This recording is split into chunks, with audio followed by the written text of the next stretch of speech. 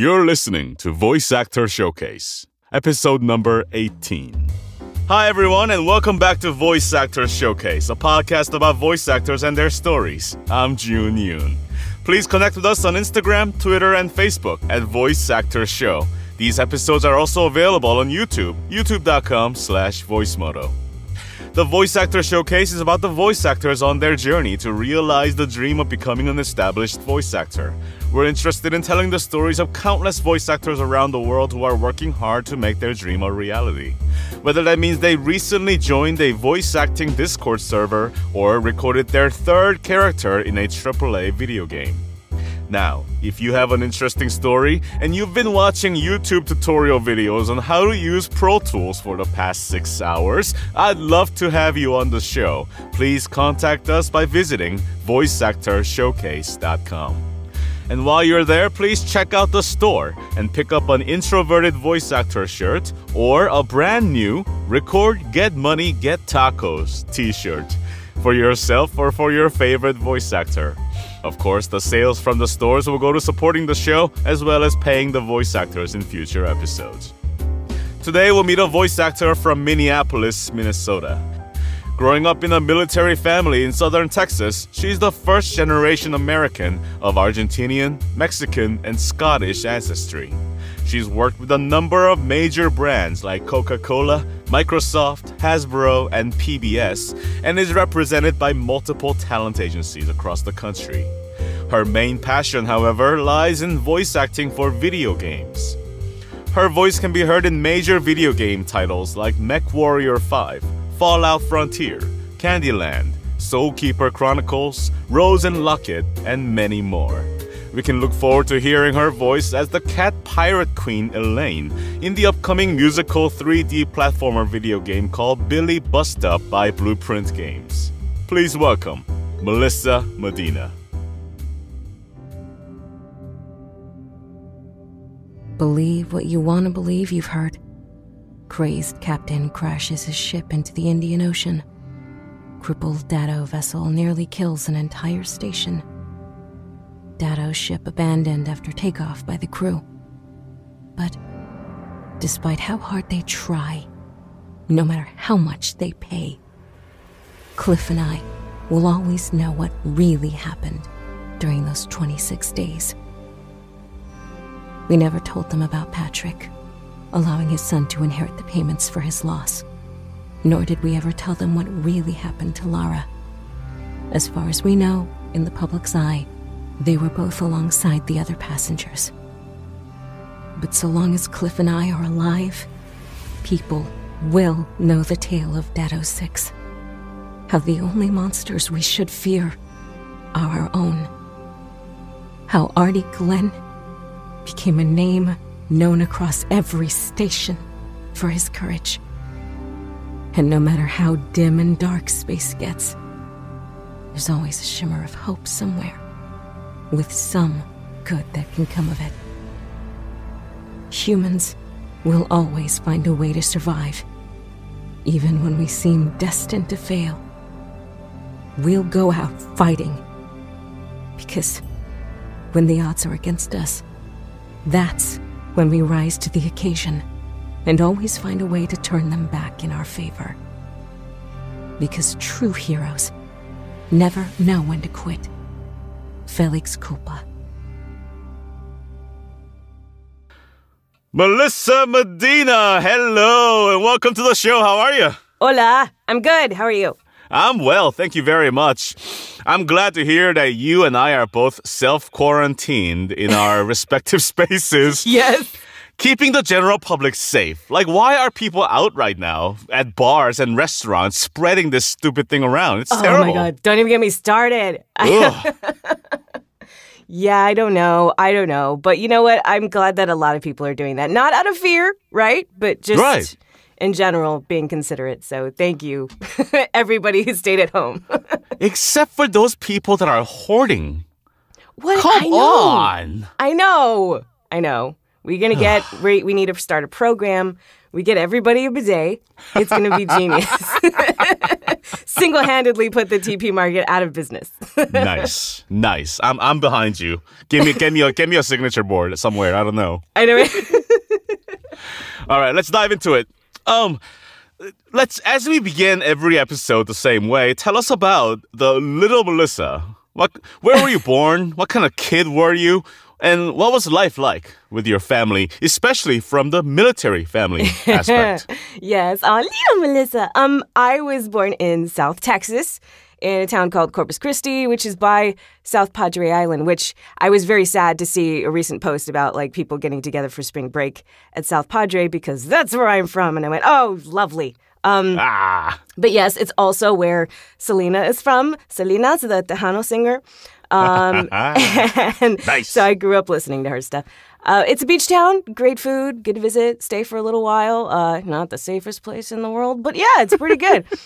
um, I don't know how you were as a kid, June, but little Melissa was a very shy kid. Uh, were you? Ah, okay. Were you a shy kid? Because I Oh, was. totally, totally. Yeah, um, I even got the word creepy quite often. Um, uh, mostly because I treaded very lightly. You couldn't hear me coming. And then all of a sudden, bam, I was there, like staring quietly and not talking, like a tiny green eyed member of the Children of the Corn or something. yeah, okay. so that it's, was it's, me. It's painting an interesting picture of little Melissa. That's Totally. great. Um, I didn't speak much as a, as a kid because uh, when I did, um, I spoke Spanish and English growing up, and it was really important that I speak both perfectly to my parents. Um, and I just I didn't end up talking much until later, and now you can't get me to shut up. And yeah, um, my parents were very much the old school like disciplinarians of children should be seen and not heard. You know what I mean? Ah. Yeah, so military mindset right there. Um, I was lucky though that I didn't have to like move around a lot as a kid, like a lot of military brats do. Um, I actually really wanted to, but I didn't get to. um, my dad traveled a lot for his work. He had a lot of different like security clearances and stuff, so we didn't really like know what all he did. So that made those like take your daughter to work days like really boring because I couldn't go anywhere. I couldn't see anything. Like this is wonderful, but at least I'm not in school. So What are you doing, Daddy? It's classified. exactly. like, just stay on the computer and play Doom or something. I gotta go work. Yeah. Um. Let's see what else. Uh, as a kid, I loved to dance. Um, I wanted to choreograph dances, which I did embarrassingly so with friends, and uh, sing. And acting had never once occurred to me. Um, um, and I've actually never considered myself to be like a particularly good actress or anything. Um, I still kind of identify as a singer mostly. Um, so the whole voice acting thing is kind of kind of fresh. but yeah, Fresh yet so successful, right. which we'll talk about in a moment. Yeah, I guess. Um, no, I honestly, I really assumed that, like, as a kid, my parents would influence me to join the military, like, like the rest of it. Like, I have two older brothers, and they're in the military as well. But um, I feel like maybe they knew better. like, I'm a bit rebellious, especially with authority, and I can be kind of a lot. So I'm sure they didn't want to like subject the military to me. and in, uh, in some ways, though, I know it was because I was the only like creative type of person in my family, and somewhere in there, I think my parents liked that. Like they had the whole stoic military thing going on, but in a nutshell, they were like, "Oh, she's an artist." um, Well, let Yeah. her spread her wings. Right. Yes, indeed. yeah, family hippie though, so you know. And speaking of creative things, I mean, most voice actors that I've talked to so far uh, grew up in, in, in environments that, that had bunch of cartoons, video games, Mm-hmm. movies, and music. What were some of your favorite things that encouraged the creativity in you? Oh man, uh, movies for one, Mm. insanely important to me. So I I love horror and sci-fi movies. Ooh.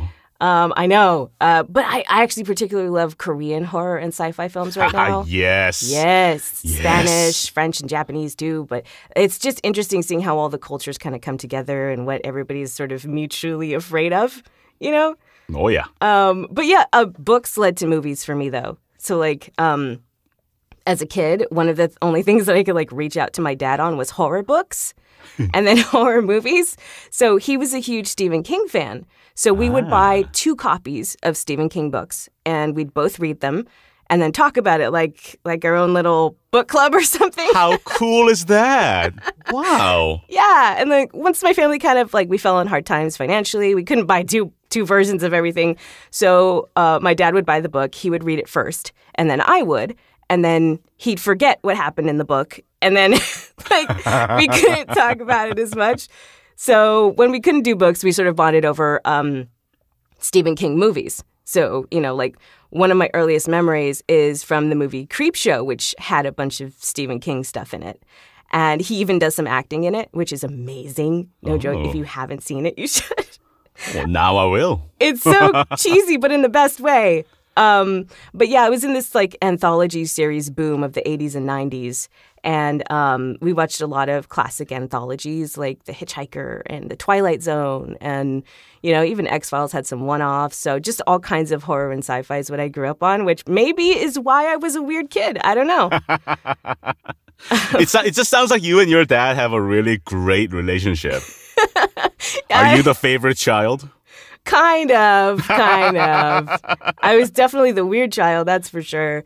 Um, but yeah, I mean, but I fell in love with movies and music and video games like really early. Um, and like with this really deep connection, and I think everybody has that, right? Which is kind of cool. Right. Uh, not to get too deep or anything, but you know, those things were a way for me to deal with what was ultimately kind of a pretty difficult and violent childhood. So those things were a great escape for me. And I wasn't even aware of how deeply entrenched they were for a really long time. So I learned very quickly to turn to movies and games for a bit of a break, you know, from things. Um, and it was great because my I, my two older brothers so graciously gave me their hand me down games, which meant like I played everything a year or two late. and I think I still do that, but um, yeah, I don't know. I was thinking about video games since that's a lot of what I do, you know. Yeah. Um, and I have to say, one of my favorite games growing up that I was thinking about recently was the Tomb Raider games. Did you play those at all? Oh yeah, Lara Croft is. right. I'm a boy. Okay, come on now. Absolutely. I love Tomb Raider too because, like, sure, she was problematically proportioned and is like ultimately your typical like, Indiana Jones, rich European stealing artifacts from largely brown people, but it was still a lot of fun.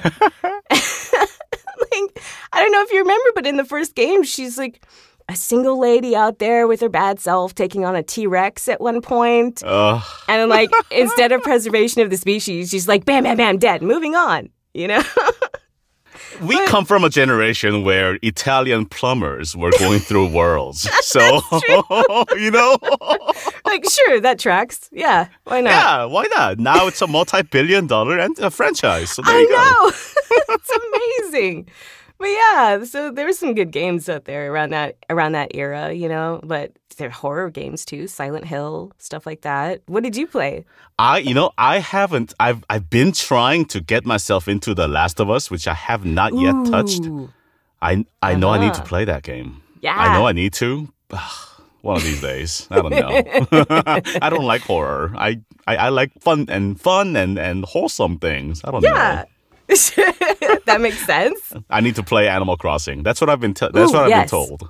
People are losing their minds over it too. That's what I've Apparently heard. It's really fun. Well, let's make a pact right here, right now, Melissa Medina. Animal Crossing for both you and me. Done. Get out of this horror thing that's happening in real life right now. Ugh. I know there's plenty out there. Let's do it. Now, shifting gears here, on your website, it specifically says assistive technology is very important to me. what is that about? wow, you did your homework. Yeah. Um, assistive technology is really important to me. Um, I I feel lucky enough to have grown up with like hard of hearing and deaf family and um, blind and low vision family and friends. So like communication and inclusion are like I don't know, they're sort of the main things that help us stay human and empathetic, you know, if that's not too grossly philosophical or No, whatever. agreed completely. But yeah, um, my dad's parents were both deaf, and my mom's parents only spoke Spanish. And so the few times we get together, there'd be a translation train from like sign language to English and then to Spanish. Whoa. And believe me, there was a lot lost in translation. Whoa. Yeah, but it was cool to try to like help them communicate and stuff like that. And um, so along with that, you've got like the immigrant experience and and the deaf of hard of hearing experience coming together. Uh, my mom worked for the state helping blind and low vision people get ex- assistive technology Wow. and like it really just helps level the playing field and like make life a little bit more convenient and, and less isolated you know Huh. but yeah my mom volunteered me pretty much every summer to help staff like a summer camp for children with visual impairments and their s- their sighted friends and family so like we could help sighted people learn how to do sighted guide which is where they kind of you know hold onto your elbow and you can walk and, and kind of guide them through without using a cane Hmm. and like how to use a cane. We would even like walk around blindfolded so they could sort of understand like the non-sighted experience. Yeah, nice. Yeah, it was really fun. And so yeah, I kind of became obsessed with these cool little gadgets that that the blind and low vision people had. Like they have the little braille writing tools and really early text to speech stuff. Um, we had these phones that were um, were these typewriters that were connected to a phone line, and so it was called TDD machines or text to phone machines. So we could talk to my grandparents that way before you know before we had internet and texting and all kinds of cool stuff. Yeah.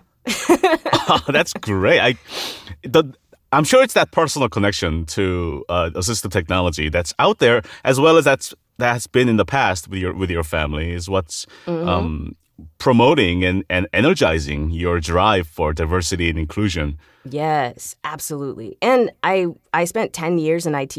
So, you know, working with teams of developers and stuff. So I've gotten to kind of inform creation of apps and stuff like that for, you know, early phase little things that can help with like accessibility tools in phones and stuff. So there's so much out there that is going on with that. So I think it's really cool. Ah, fantastic. Yeah. Yeah. Now, tell us a story or two from the high school days. Oh my God. Um, Okay, we're in for a treat. Here we go. Melissa was a very different person in high school. Um, I That's why it's fun. well, I was a big uh, choir kid, choir and theater kid. nice. Um, yeah, well, yeah, I wasn't nice though. I wasn't. I was really mean back then. I had a lot of anger, June.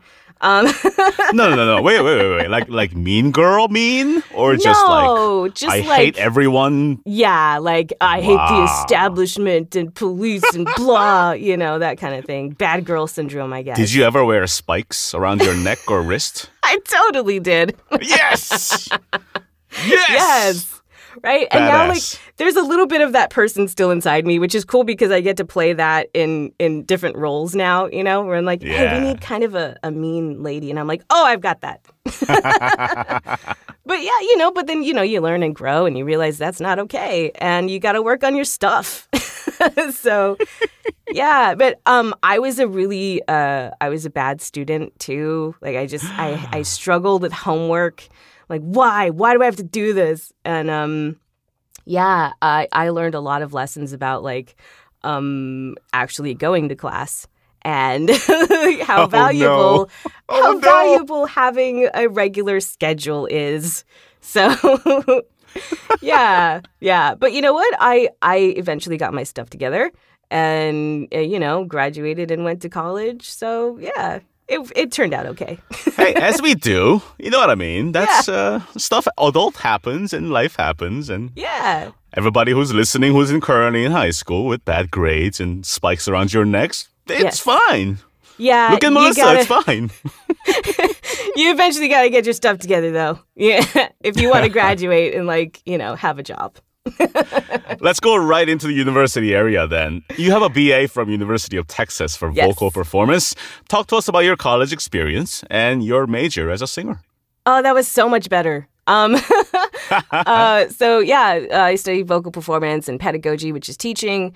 Um, I struggled a little bit at the beginning, but then eventually made my way and um, got to take part in a lot of musicals and operas. Mm. There are some cool classes that you can take, which um, I think I try not to mention very often because people go, I want to take that class. But like I took history of rock and roll and stuff like that in school. nice. Yeah.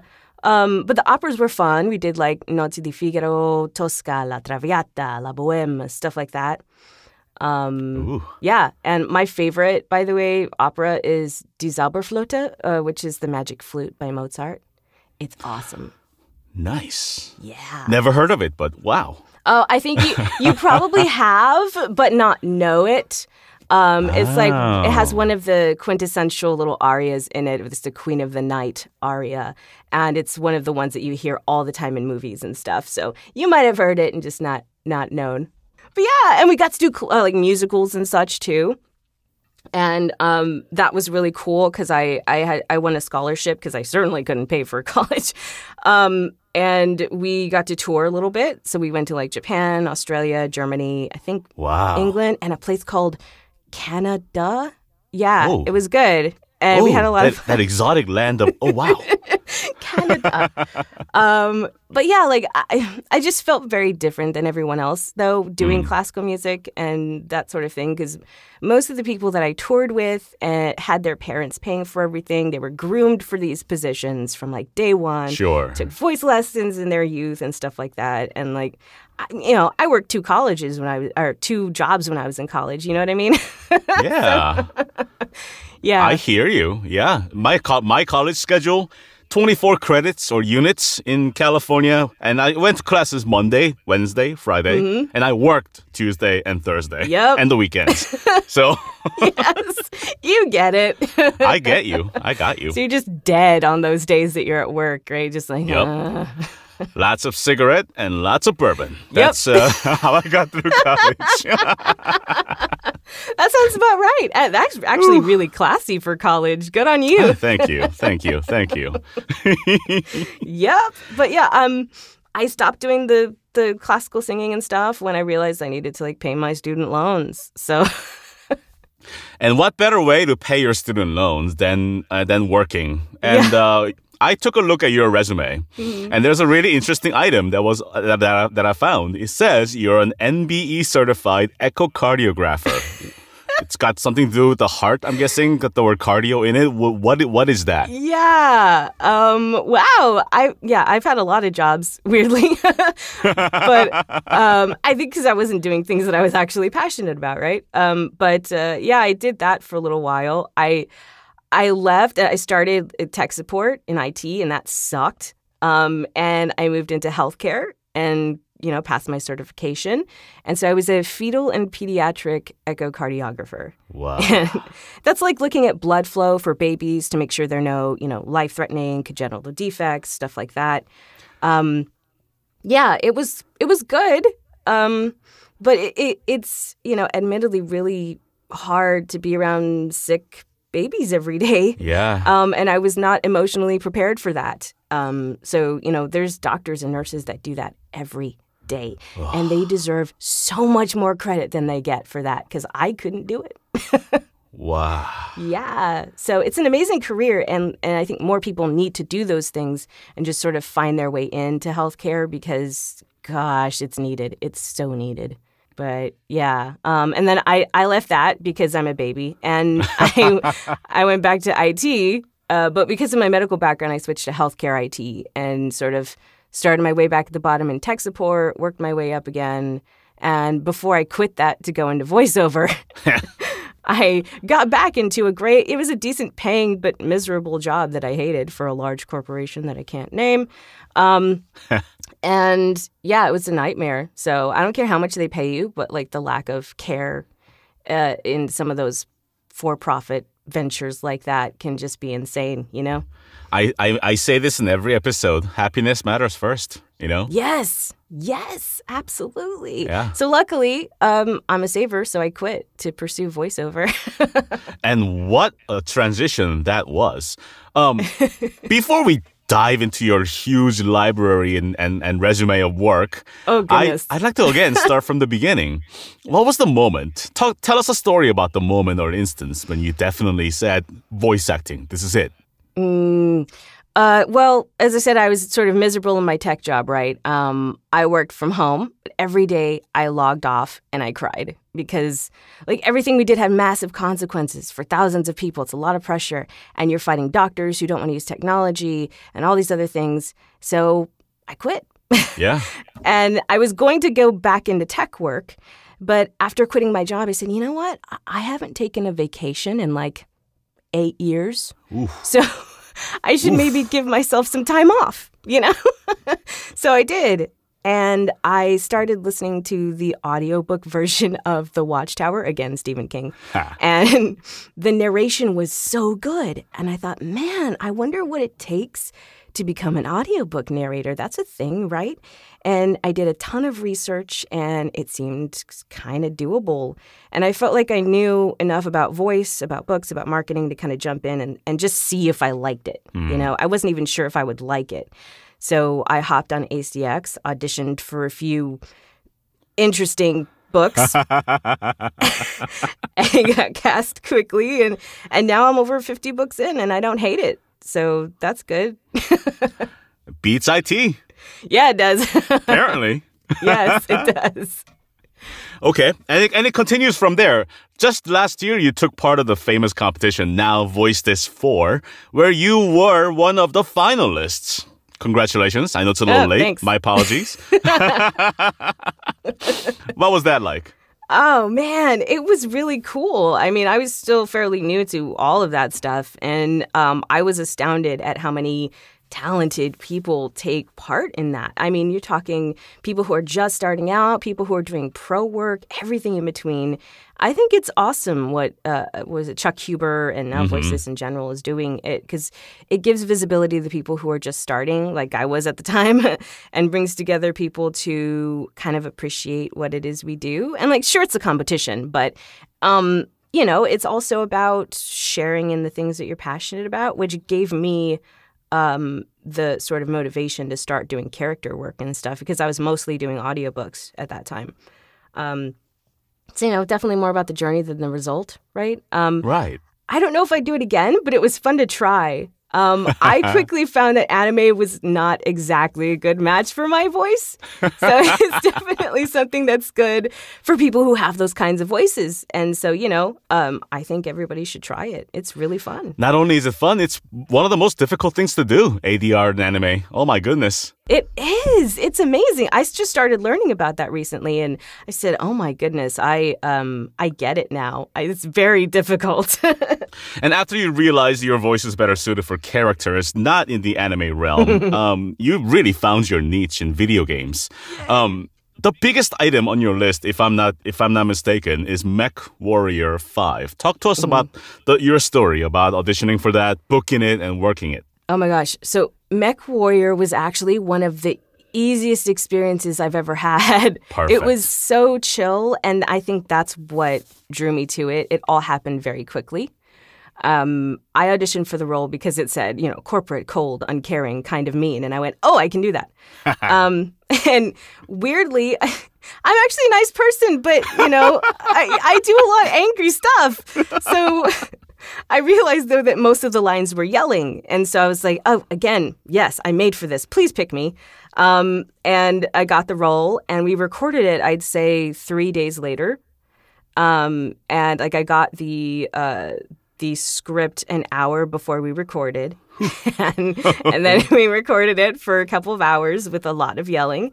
Um, but when I hopped on a call with the folks at Piranha, they were so relaxed and chill, and it, which was weird because it was only like a, a couple months before the launch. so um, as as that happens with development, um, Sure. But they just said, you know, we trust you. You came across exactly the way we wanted, so let's just do some yelling. And I said, okay. and now one of the things that I love is when I see a stream of Mech Warrior Five people and people have me as their garrison defense commander, and I'm yelling at them. They yell back at me, and I love that. I'm like, you destroyed this thing. And they're like, okay, sorry. And I love it. And so it was it's it was a lot of fun and surprisingly easy. Which I think is a sign of a good project. Absolutely. Yeah, when they have everything in order and yeah. In a complete 180, you're also the voice of Princess Frostine on Candyland. Tell us about that one. That must be where your nice side comes out. Yes. Um, so that's one of the weirdest things about my career so far has just been the sheer like dichotomy of character types. Like either I play like cutesy children's characters or like really strong, mean, sexy villains, and nothing in between. Nothing in between. So um, Candyland was great though because I got to add another children's character, sort of balance out the darker ones. um, but it was a long process. I think total it took over a year from casting just to even get the game out, and it like it just came out. I want to say like maybe last month, and uh, I believe merchandise still isn't out yet, so it takes a while. um, but I loved Princess Frostine. Um, and I joke around because her name used to be Queen Frostine, but she got demoted, I guess, Oh. to to a princess. Oh, that's not very nice. So yeah, still still royalty, but not as up there, you know. um, I think they wanted to avoid relationships in the games, so you have like King Candy, Princess Frostine, Princess Lollipop, Oh. and stuff like that. So they just didn't want to put that in there. Oh. Um, Yeah, but overall, it's been really fun, and I, I like. I didn't get to grow up with Candyland like a lot of people have, but I met a few people that did, and their excitement over the franchise sort of getting a reboot has been really nice and really refreshing.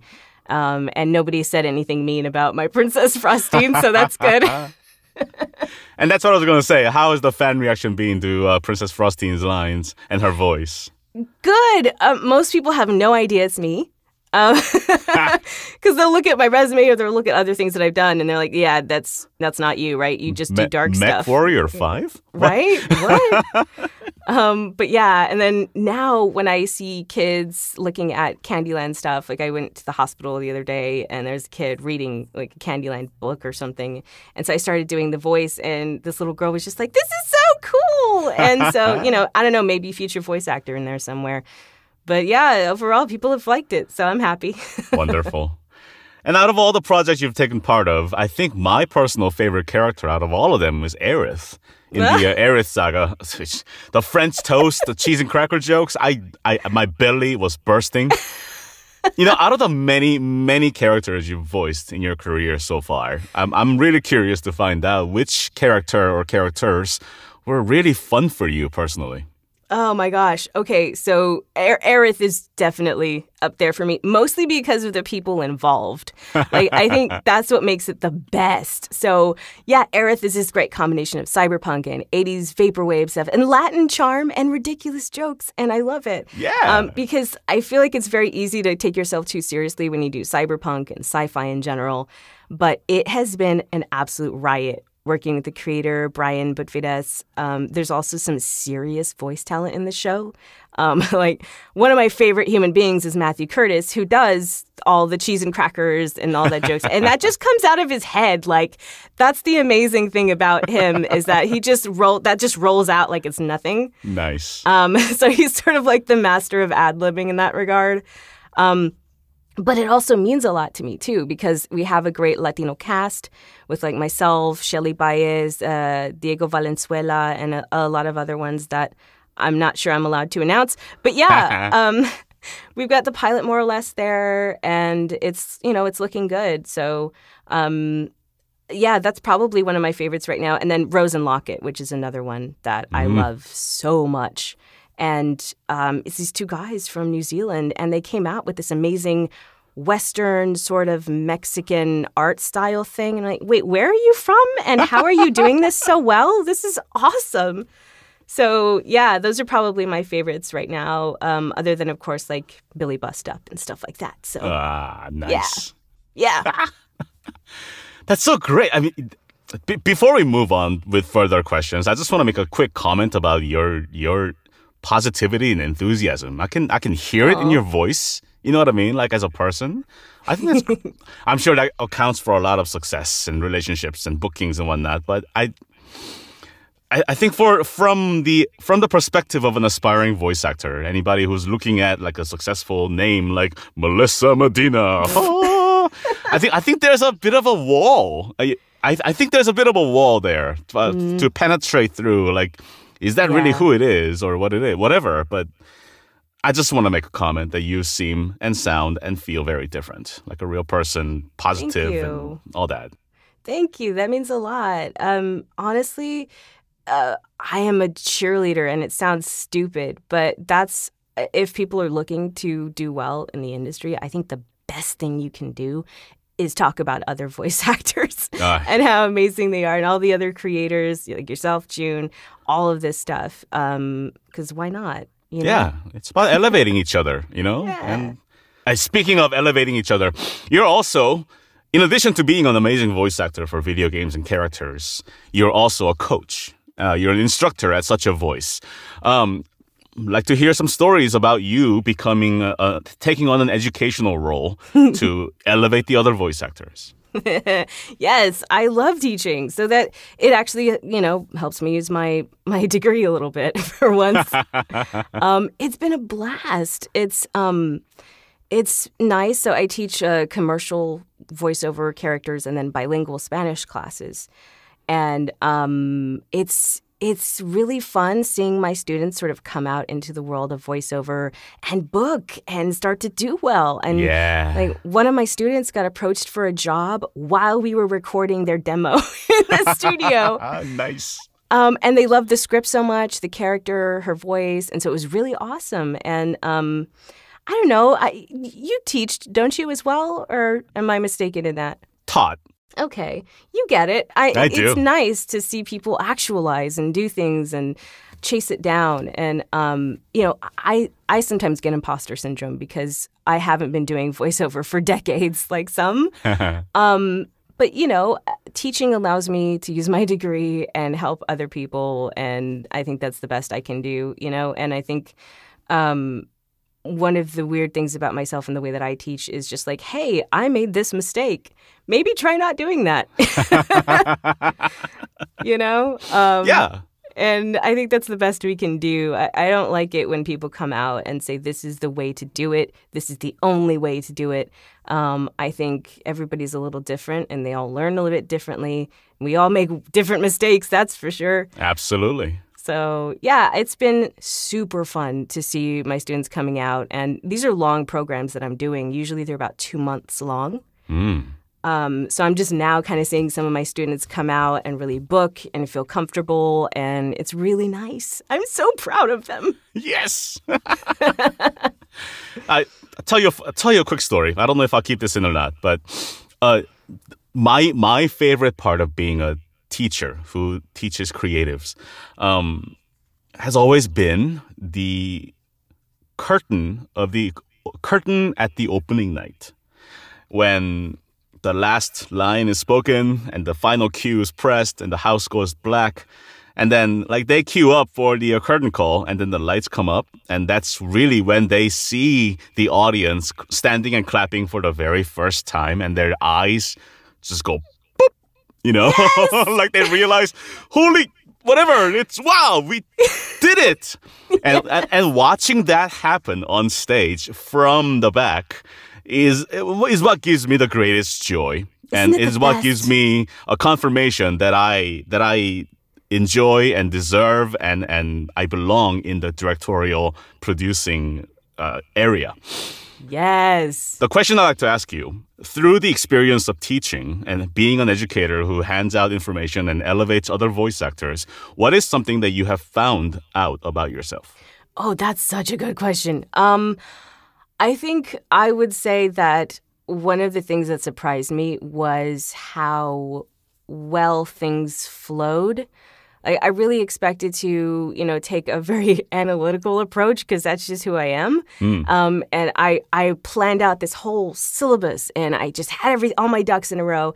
And then when I got in, it, it just didn't apply to be this formulaic way of, of approaching things. So I found that I just sort of instead just let it all kind of come out Yeah. and organically, and it felt so much better that I didn't have to over prepare. And um, I think being way more relaxed than I ever thought I would be, and realizing that you know I- don't know if you you do this in your teaching, but sometimes I feel like I need to take on their performance almost and say like, okay, if they don't do well, I did something wrong. you know? Right, right. Um, but I think that now I'm kind of learning that it's the what is it? The the bird leaves the nest and you just go, man, go. um, so Push yeah, there's out. a lot. there's a lot of adjustment there, and I didn't expect that. Fantastic. now, into, to change topic at a, at a very abrupt point here, you currently live in Minneapolis, Minnesota. Many, many, both in the industry and out of the industry, would argue that making a living as a character video game voice actor not in Los Angeles would be impossible. How do you do that? Uh, beg Angelenos and Californians to love me. no, um, please love me. Uh, no, luckily there's some remote work out there. You know, I take what I can get. Um, I hustle my butt off too. Yes, Um, yes. I actively canvas for work. I don't just leave it up to my agents to get me work because there's so much technology though to bridge the gap from like Source Connect to even like there's software for facial capture via the camera in your phone. So I think those gaps will hopefully lessen over time. Um, that said, I'd probably book like 80% more work if I lived in California, but um, I'm not quite ready for that step yet, I don't think. Um, that said, my my list of goals, one of the things on it is to engage more locally and just kind of get to know my peers here and not just in LA. Um, but yeah, it's not easy, but I think the main thing that I love to do is I actually really love the development process. It's like magic to me. Nice. And so I will reach out to developers and just be like, hey, how did you do that thing? Like, I'm not a developer, so you have to really dumb it down for me, but can you explain how you did that? Because that's so cool. And then, you know, eventually we just start talking, and it's really cool to support them also. Yeah, communicate and reach out and take the initiative and reach out. yeah, for sure. Even if it's just like, how did you do that? That's so cool. Yeah. Um, yeah, but there's some developers here in, in Minneapolis and stuff that I talk to as well. So, you know, try to do both local and the LA stuff. a lot of the listeners that are listening to my to this podcast are not in LA, New York, Chicago, Atlanta. They're more in the rural areas. I, I take that. I take that back. A lot of the voice actors that listen to this podcast are not situated in LA, Chicago, New York, Atlanta. Mm-hmm. What is one? And I, I try not to make this podcast into an advice column. I I don't want to be like everybody else, but I think I think there's a lot of people that can benefit from your wisdom because you are living that life. You are not in LA, Chicago, New York, Atlanta, but you're booking it. So provide, if you could, if you would, provide one, just one actionable item that you can impart to the listeners here. Okay. Um, I think that one of the most important things in our business is to stay genuine and have genuine curiosity. And that will, believe it or not, get you work. People can sense when you're just pumping out work, people can sense when you're not actually interested and behind a project. Um, and you're treating it like a job and not something that you really love. And so I think, if anything, if you can cultivate a sense of genuine curiosity about things, you will book. And even if it's just interacting with people on social media, um, people will notice when you're genuinely interested and you have something to add to the conversation other than like or cool. Yeah. Um, yeah, and I think that is one of my most um, one of the most overlooked things in the business is, and I know you can't take on every single project and be interested in every single project, but you can find something interesting, at least one thing interesting about what it is that you do or who it is that you're working for, and if you can't, uh, maybe that's not the best place for you. You know. Yeah. Um, so I don't know. That's my little two cents. No, I think that's great. Being honest about your desires and your interests. I mean, that's that's universal advice. you know, that think so. happens to apply to your voice acting. My goodness. yeah, for sure. nice. So, will are there any plans to move to LA? Oh my gosh, I'm putting it off to, as often as I can. Um, it's scary out there. Um, no, I think that uh, I feel like all roads lead to LA. You know what I mean? That's true.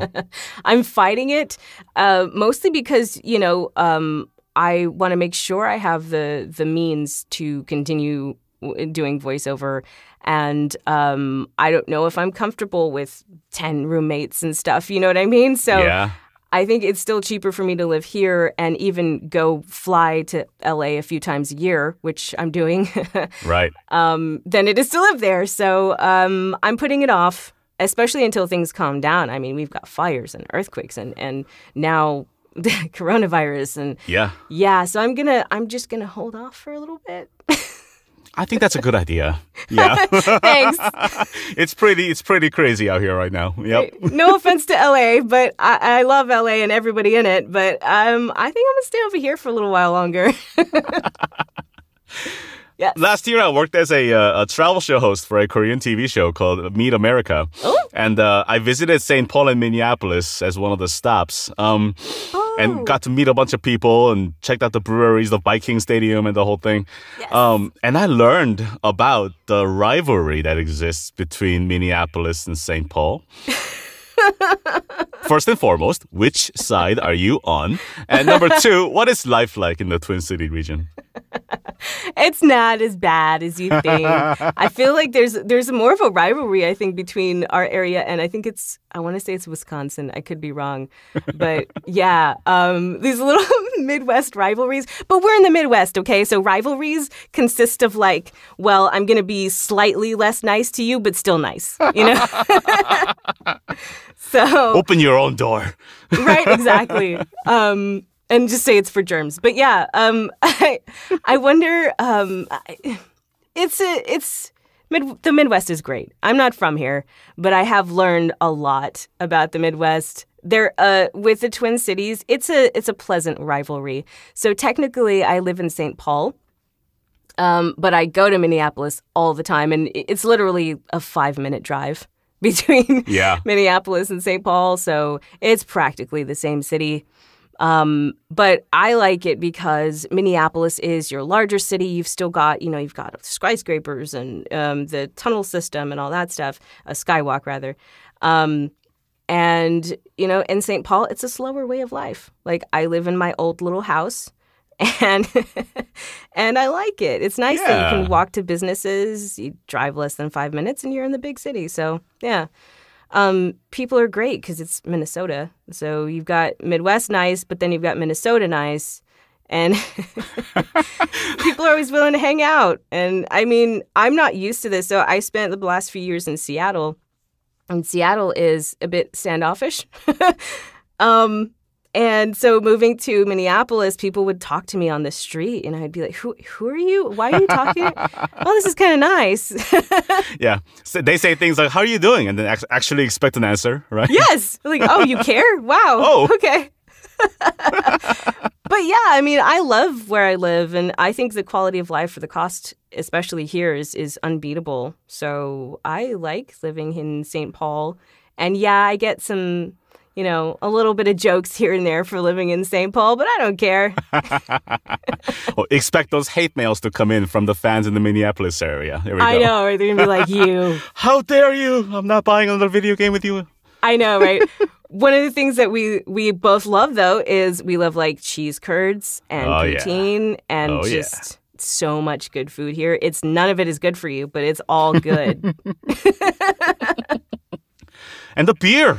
Oh my gosh, Yes. the beer. yeah. I was not expecting that, but I feel like I've converted now. I used to be a big wine person and I still am, but man, I'm really learning a lot about beer since moving here. All right, excellent. The following questions are questions I ask everyone. Um, what does your recording space look like? What gear did you start out with? And what are you using now? I love that it's a mile marker of our progress. That's awesome. um, I started out, okay, I'll start where I started. I started out using the microphone in my Surface tablet under a blanket in my bedroom. Yes! you are And one of us! Yes. and then I spent hours cleaning up that audio because it sucked. So, um, yeah, but when I moved out of Seattle to Minnesota, I set up a closet to be my studio, soundproofed it, Um, Yeah. with like you know a craft project of foam boards and foam tiles and whatnot. Um, Yep. yeah, and then I recently upgraded to um, the 416, and but I still use my Scarlett interface, so I Yeah. still have that. Um, I'm thinking of switching to something else, but the Scarlett hasn't done me wrong, you know. Ah. Yeah, um, I still occasionally use my tricked out version of Audacity with like millions of plugins, Ooh, fancy. but mostly I use Audition now, which, you know, I mean, honestly, I'm not a gearhead, but I think you can have broadcast quality sound with good ears and an improvised setup. You know what I mean? Agreed. Maybe some retouching. Agreed. I, are so many stories of I booked a national commercial out of my closet. Yeah. I mean, it's true though. You know what I mean? Yeah, it is. I've done the same. I work out of my closet every day. yep. Beautiful. Beautiful. What are some uh, short-term and long-term goals as a both as a voice actor as well as the person Melissa Medina? Ooh, um, I have so many. Begin. Um, let's see. Uh, so last year I focused a lot on video games because I didn't really know what my calling was. I was getting tired of, of audiobooks a little bit. Um, and I definitely am going to keep doing video games. Um, but I'm also now flirting with animation. And um, so this year, I'm my plan is to double my efforts to do more animation, not anime, but just, you know, Western style animation right. quirky, crazy stuff. Um, I just don't think I have the voice or the exuberance for anime. so I'm going to find other stuff. Um, my long-term goal is to be, you know, have a show on Netflix. And we're, you know, we're working on that with Aerith and a couple of other things. So, you know, who knows, maybe that might be coming sooner than later, hopefully. Fingers crossed. Knocking on wood panels right now. Yep. Right? Yeah. And then I'd say short term goal for myself. It sounds silly, but I really want to keep my workspace clean. like, Oh no, you're one of those people. I am like I'm so tidy and orderly all over the house except my workspace. I have like four water bottles, like coffee cups, a bowl from breakfast. I don't it's just out of control. I don't know why I do that to myself. And you justify it as organized chaos, don't you? Like, sure, yeah. I'm like, well, I live here, so this makes sense. And but I'm in a closet, so I have a tiny little desk. So literally everything is impactful. And occasionally I have, you know, you probably do this too, where you talk with your hands, you Oh, know, yeah. when you do stuff. And I have knocked into a bowl with a spoon in it or oh, something. Oh, no. And Clang and then yeah, exactly. Like, okay, it's time. It's time to clean up a little bit. yep. So yeah, those are some of my goals. All right. It's been a long day, right? You've been in four different sessions. You're exhausted. Ex- working with four different directors that are just really tough to work with. so you decide you're going to go out. Forget the COVID 19. I'm going to go out. Don't go out. Don't do that. But hypothetically, sitting at the bar, bartender comes up and, and she's like, What do you have? What do you say? Ooh, oh. Um, I go for if I'm doing mixed drinks, I go for something with mezcal. Have you ever had mezcal? Oh, yes, I have, of course. Yeah, I keep a stash of mezcal for like especially rough days. Nice. Yes. Um, I think you can't beat like a margarita with mezcal in it. I think it's like this great combination of you got the smoky and the sweet. Yeah. And yeah, oh man, I love that. Um, red wine is my thing though. I, I love red Ah. wine. So anything from like Italy, you can count me in immediately. yeah. Um, you're you're a whiskey guy, yes? I'm a whiskey right? person. Yes, indeed. Um, I'm not. I'm not fancy. My my go-to is usually a, a Suntory Toki. Nice. Um, on a rough day, I'll I'll spring for a Macallan Scotch. nice. But I'm not opposed to Evan Williams either. I, in fact, I have Yeah. a I have one of those uh, Costco-sized Evan Williams sitting in my in my cabinet. oh my So- gosh, for emergencies, right? Pre- Precisely. You know what I mean? I- I've got to get my drink on. Especially after a long day. You know how that goes. Yes. I saw that video of you a while back where you're like, ah, what is the the, secret, of voiceover. that was so good. Like, I have to follow this man immediately. That was wonderful. Inspired by Kari Wahlgren, who made this video on Instagram. And she was talking about coffee, right? The secret to voiceover, it's coffee. I was like sitting there watching it. I have an idea. More accurate. And then she commented, we talked for a while. It was great. I loved her. She's great. nice. That's oh, she's so fantastic, isn't she? oh my gosh, one of the one of the best. Life goals right there. Same, same. All right, Melissa Medina. As we uh, as we wrap our episode here, um, what is next? What's next for you, Melissa Medina? And what do you have coming up? Um, and what do you go? Where do you go from here? Oh man, um, I'm gonna keep going. That's for sure. Um, let's see. Next up, I probably have uh, Billy Bust Up, which is gonna be amazing. Um, they have already had insane amounts of success, and it's just so cool to watch. Um, they have tens of thousands of followers already. Right? We're working with a composer from the My Little Pony movies. Nice. And even as a singer, it's going to be insane singing for him. Like, I'm going to be super nervous. um, I feel lucky not only to be included in the cast, but that the project is remarkably inclusive. Um, and I don't think they talk about that very much. Um, so we have people from different countries coming together for this. Uh, they incorporated characters from all different ethnicities, all sexualities. nice. It's wonderful. Um, so you know, my goal is to make uh, my character Elaine, the cat pirate queen, Oh, yeah. into like a female Spanish Scar from Lion King. oh, sick. Ah, I Um, yeah. love that. I think the refinement and the swagger of like Jeremy Irons' Scar from The Lion King is something I look up to. Wow. oh my gosh! Now I don't know. I mean, I'm not nearly as good as Jeremy Irons, but I'm gonna try. Damn it. Um, um, but yeah, then uh, Rose and Locket is coming later this year as well. Um, I love the story. It's so cool. They just came out with the story where it's a you know bounty hunter woman who's been blackmailed by an evil spirit who takes her daughter and locks her in a magical locket. She has to collect seven bounties to free her daughter from the locket, and um, the colors they use are gorgeous. It's got this, you know, like I said, Western Dia de los Muertos type of aesthetic. It's just beautiful.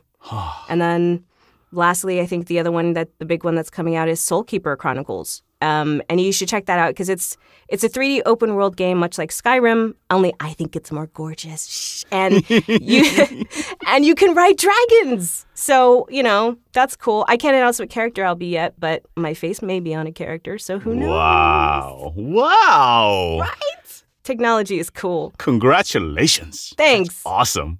Thanks. There's some good stuff out there. And I think now, with everybody kind of staying home, there's going to be some amazing work done. Oh, yeah.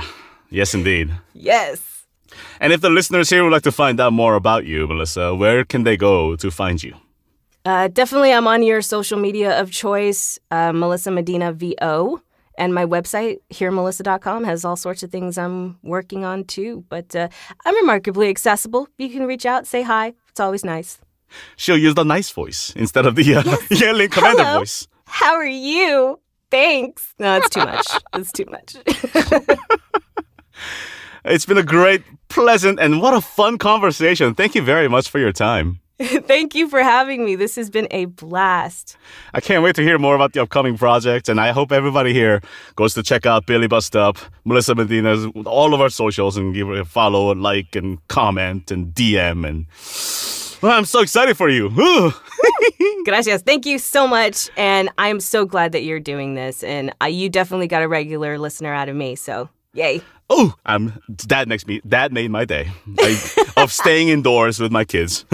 exactly. Good luck. Please stay safe out there. Um, self quarantine. Wash your hands. Everybody listening, as well as Melissa. Yes. Um, we'll all get through this, obviously, but let's all do our part together and, and beat this thing. We will. Thank you very much for your time and have a great day. Thank you. You too. This has been Voice Actor Showcase. Visit our website at voiceactorshowcase.com. If you'd like to be featured on this podcast, contact us at voiceactorshowcase.com. Thanks for listening.